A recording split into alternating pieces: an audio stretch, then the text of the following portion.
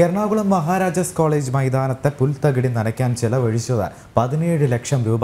വർഷത്തിൽ പകുതിയിലേറെ കാലത്ത് മഴ ലഭിക്കുന്ന കൊച്ചിയിൽ മൈതാനം നനയ്ക്കാൻ പാഴ്ചെലവ് എന്തിനെന്ന ചോദ്യമാണ് ഉയരുന്നത്. വിവരാവകാശ പ്രവർത്തകന് ലഭിച്ച മറുപടിയിലാണ് ഈ കണക്കുകൾ. എന്നാൽ അഞ്ച് വർഷത്തേക്കുള്ള തുകയാണിതെന്നും ബർമുഡ ഗ്രാസ് പരിപാലിക്കാൻ ഇത്രയും തുക ആവശ്യമാണെന്നും കോളേജ് അധികൃതർ പറയുന്നു.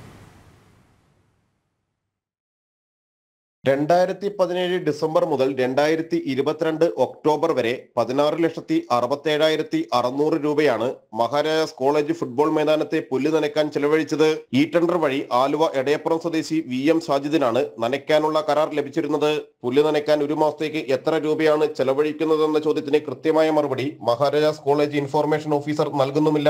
വിവരാവകാശ പ്രവർത്തകനായ രാജു വാഴക്കാലയുടെ ചോദ്യങ്ങൾക്കുള്ള മറുപടിയിലാണ് സാമ്പത്തിക ദൂരത്തിന്റെ വിവരങ്ങൾ പുറത്തുവരുന്നത്.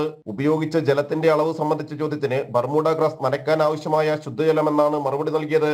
അടിയന്തരമായിട്ട് ഇത്തരം ബർമൂഡ പുല്ല് നനയ്ക്കുന്നതിനുള്ള ഇത്തരം രൂപ ചെലവഴിക്കേണ്ട ആവശ്യകത ഉണ്ടോ എന്നും ഒരു വിദഗ്ധ സമിതിയെ കൊണ്ട് തന്നെ അന്വേഷിച്ചിട്ട് വേണം. ഇനി അടുത്ത പുല്ല് നനയ്ക്കുന്നതിനുള്ള ഫണ്ട് ചെലവഴിക്കുന്നതിനുള്ള ഒരു കാര്യം കൂടി ബന്ധപ്പെട്ട അധികാരികളുടെ ശ്രദ്ധയിൽപ്പെടുത്തുക മാധ്യമങ്ങളിൽ പരസ്യപ്പെടുത്താതെ സർക്കാർ വെബ്സൈറ്റിലൂടെ ഈ ടെൻഡർ മാത്രം വഴിയാണ് കരാറുകാരനെ തെരഞ്ഞെടുത്തിട്ടുള്ളത്. നനയ്ക്കാനുള്ള അടുത്ത കരാർ നൽകുന്നത് രണ്ടായിരത്തി ഇരുപത്തിമൂന്ന് മാർച്ചിൽ ക്ഷണിക്കുന്ന കരാർ വഴിയാണ്.